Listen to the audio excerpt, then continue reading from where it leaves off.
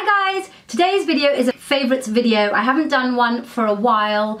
Uh, but this month I've got so many things that I've actually been absolutely loving that I really wanted to talk about them and I'm going to talk about hair first because I've really really been going on and on about my hair for a while if you look back at my blog I did a whole week of hair and I finished up with hair Oscars where I had all my kind of my best in categories and all of that kind of stuff so this month I've really been trying to get my hair back into shape, get it back into some kind of healthy, shiny, manageable, kind of frizz-free condition, which I can actually try and style myself at home because I'm so bad at doing it. And I've really been kind of going for it. And if you can see that it is looking a lot shinier, a lot healthier, I think.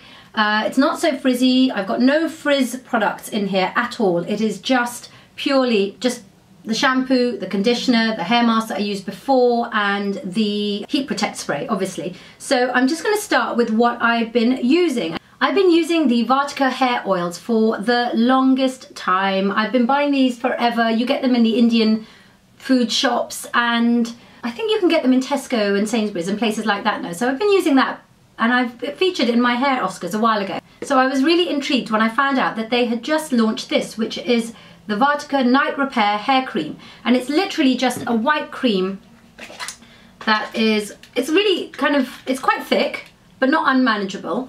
And you just kind of put it in your hair overnight. I would just keep it on the damaged bits and sleep in it and wash it out the next morning. So I did try that and I did, I feel, felt it made a difference, but it really was, I find it very difficult to work with. It made my hair quite sticky and a little bit kind of just unmanageable while not that you have to do much with it you're just tying it back and, and uh, sleeping in it.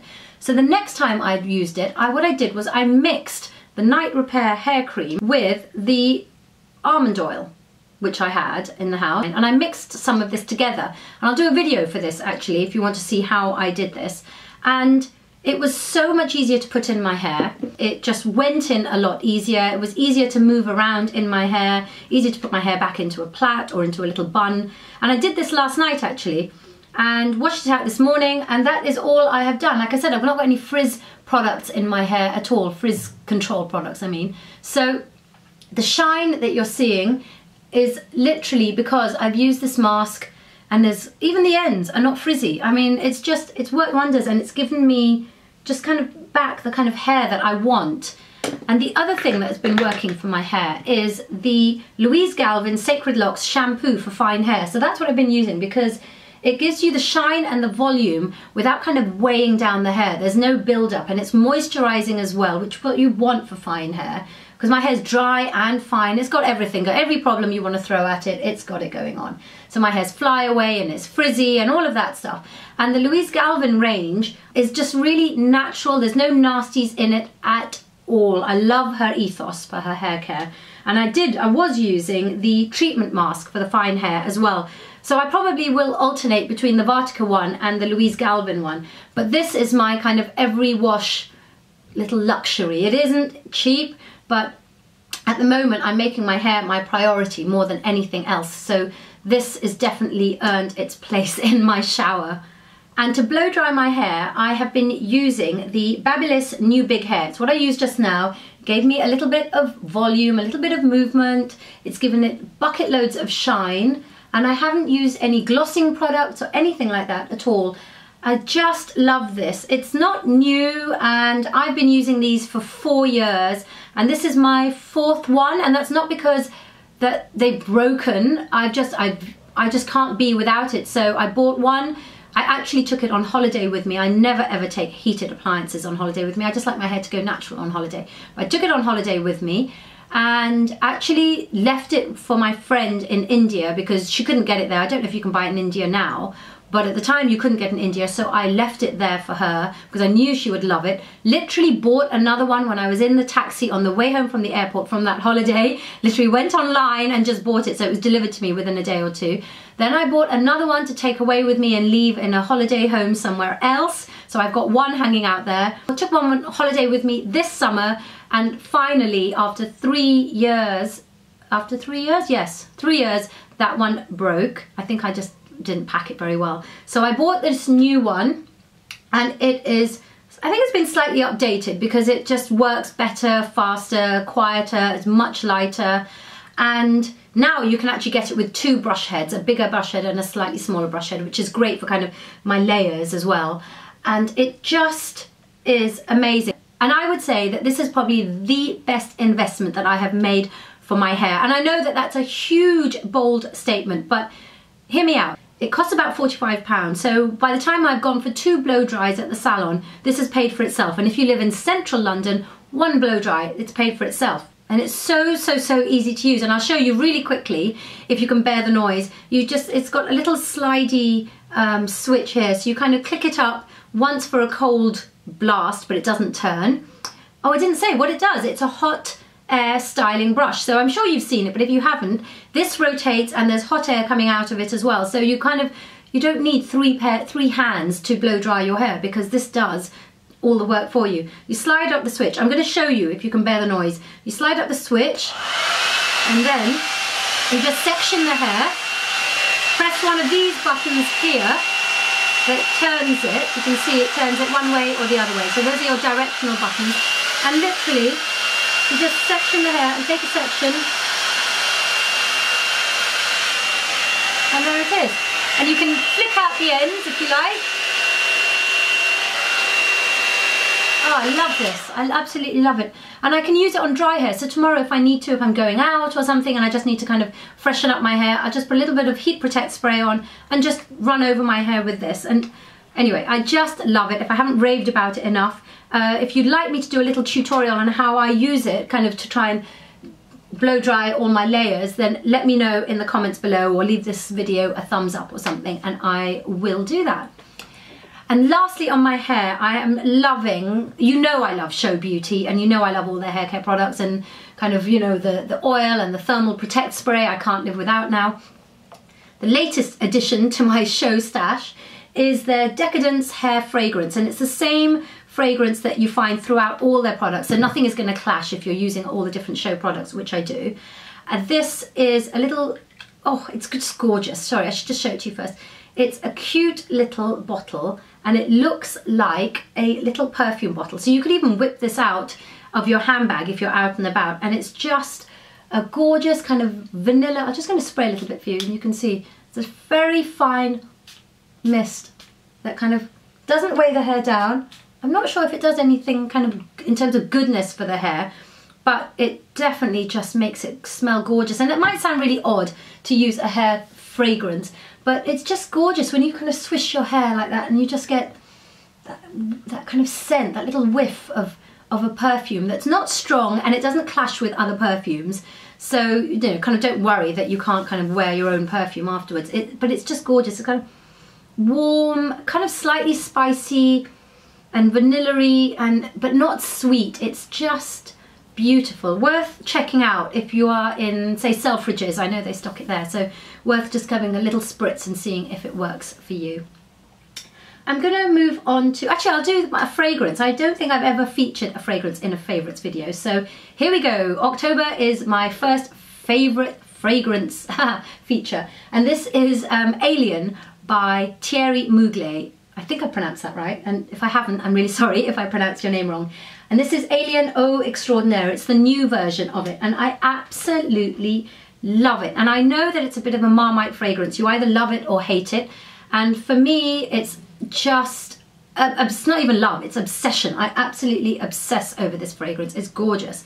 And I love the bottle as well. It's some really weird kind of, it looks like an alien. It's almost like a bug kind of weird, you know, it looks like something out of a sci-fi movie. I wouldn't be surprised if this comes to life at night and is like stalking everything else on my dressing table. I'm sure that for some people this one just doesn't work and it makes you feel sick. To me, I just can't get enough of it and I and I know that because it's so polarizing, it's almost it's really weird when I meet someone who's wearing it.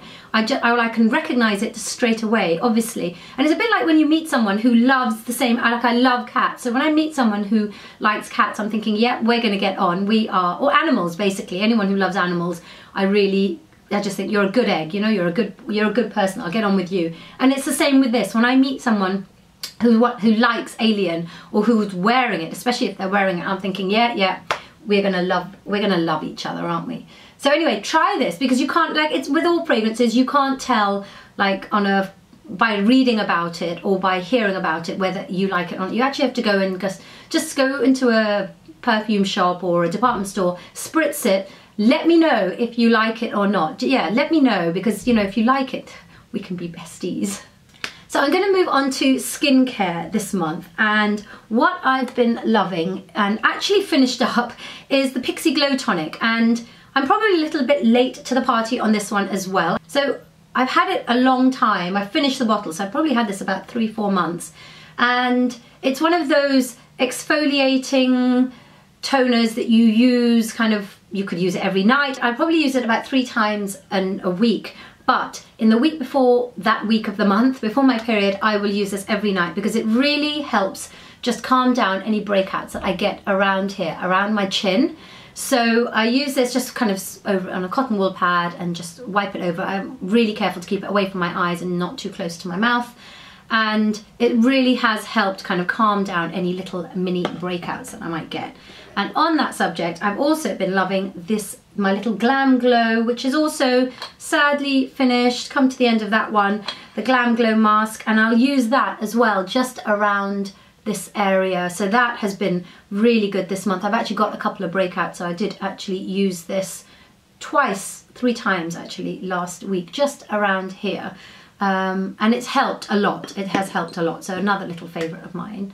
And lastly, on my skincare, and you know that I love my face oils. I've got so many of them, and actually I probably ought to go through them and chuck some out because you can't keep them for too long, can you? But anyway, the one I've been loving this month is by Darphin and it's their revitalizing oil and it's for face, body and hair it says, but I've actually only just been using it on my face. And actually with this, these two, with my Pixi Glow Tonic and this, my skin has been just gorgeous this month.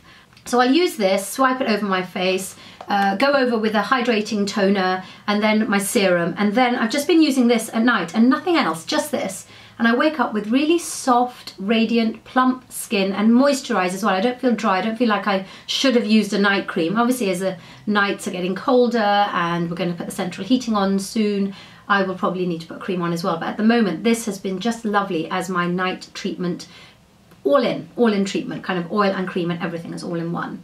So I'm just going to move on to like a couple of makeup bits and I have been loving the new Clarins cream to powder matte eyeshadow and this is in the shade 04 in Rosewood and it's a really warm kind of browny taupe. It's but it's warm because a lot of taupes on my skin color can look a little bit cold and in fact they have one called taupe and it's shade 3 and it's just called taupe.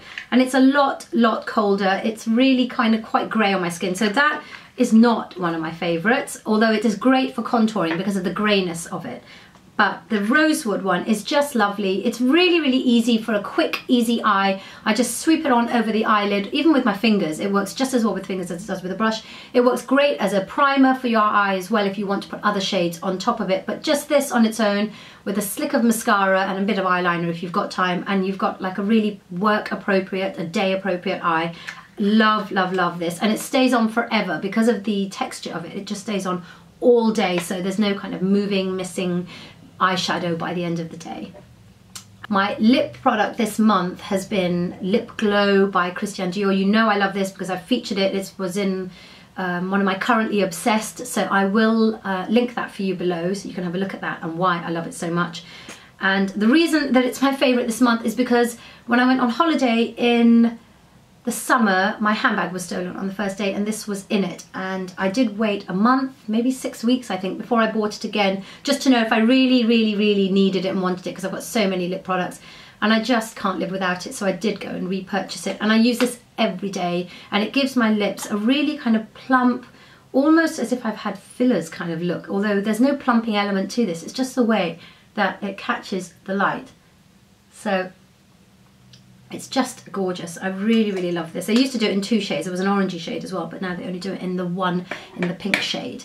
And lastly, on my makeup, it's absolutely a like beyond obsession with this. You know that I cannot do false eyelashes, hopeless beyond belief. So any eye mascara that is just going to give me that false look effect, I love. And this new one by Giorgio Armani called Black Ecstasy Total Effect Intensity Mascara is the bomb. It is just amazing. I'm wearing one coat on each of my lashes right now and it is incredible. I, like an idiot, in my excitement to buy it, bought shade 3, which is wood, brown. It's not black and I never ever wear anything except black mascara. But even in this mid-brown colour, it's not even a dark brown, don't know what I was doing, even in this brown colour, um, it just makes my lashes look incredible and I will continue to use it until I run out and then I'll go back to buying it in black. Absolutely gorgeous and I will be doing a separate blog post on this as well so I'll link that for you below. And that's mostly it, I think. I've just got one thing left to show you that I have loved and it's like an odd one actually. It's my handbag and it's this. It's the Anya Hindmarch and I can't remember what it's called so I'll put the name of it down below. But it is fabulous. I've used this all the way around Toronto just now when I was there for a week. Um, if you haven't seen my Toronto vlog I'll link that for you below. And the next video to go up after this one is going to be a haul and a giveaway so make sure you subscribe so you don't miss that because I bought some bits over there for you which you can't get here in the UK and I'm going to do a nice giveaway for you. But anyway, coming back to the bag, um, I can't remember what it's called, I think it's called the Satchel or the... Anyway, I'll find the name and I'll link it for you below. And the reason that I love this so much is that it's got a lovely handle about this size which is perfect to go over the arm. But it's got obviously the crossbody which makes it brilliant for when you're going sightseeing. But really really the main reason is it's organizational. You kind of open up the zip and it's absolutely amazing it's got all these little pockets and it's you can't see it can you sorry it's got all these fabulous pockets and there's coin one and there's there's cards and there's one for your phone and then in true Anya Hindmarch style there's all the pockets inside as well. So, I mean, organizationally, it was just incredible. I got so much on into this and it was perfect for on board as well. And of course, it's got the zip at the back. Oh God, it's not even that big. I'm just being all kind of left hands with it.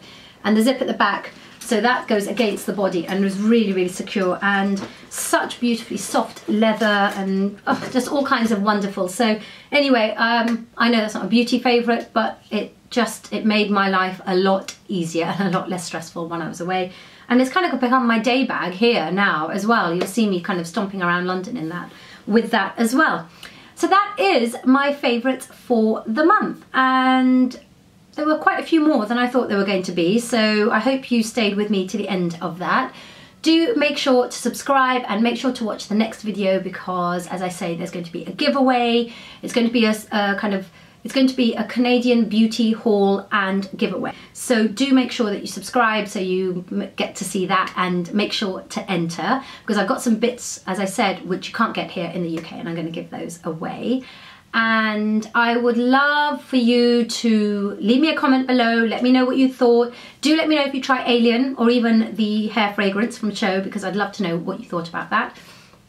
And make sure to check me out on Instagram because I post on there every day and I'll leave that below and check me out on Twitter all my social media I will link for you below so make sure to come by and say hi and now it's time for me to say bye. So I will see you in my next video. Bye.